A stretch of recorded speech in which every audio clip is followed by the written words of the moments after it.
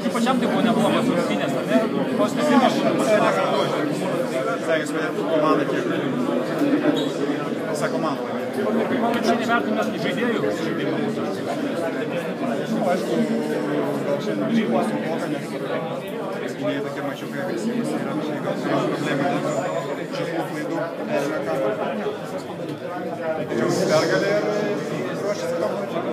Puikus komandos pataikymas. Esam geriausios sportinės formos. Čempionatas parodys. Viskas, ačiū.